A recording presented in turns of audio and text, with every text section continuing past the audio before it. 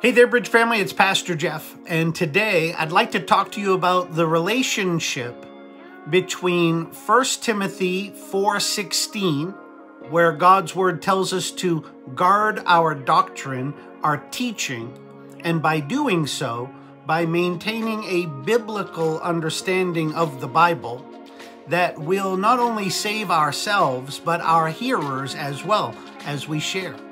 And I'd like to connect that to 1 Peter 1, verse 10, and the principal message of being careful as we search and inquire about God and God's Word.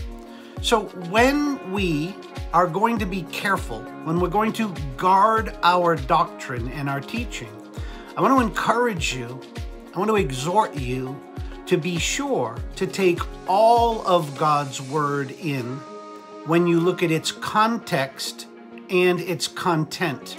If you're going to be careful, if you're going to guard your doctrine and your teaching, your searching and your inquiring about the Lord, you and I need to embrace all of God's Word and only God's Word.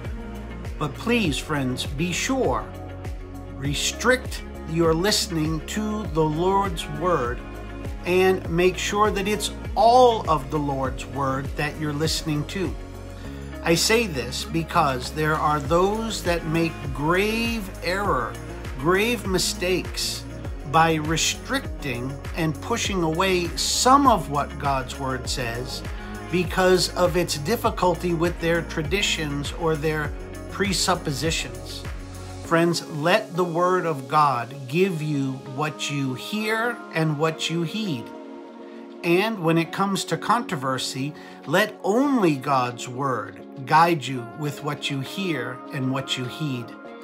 Be careful not to listen to arguments from silence.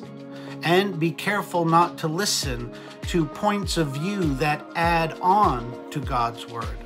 Both of them are very dangerous unless and until we know where the guardrails are on the narrow biblical view and perspective, we can't possibly know that we're in a righteous, proper understanding.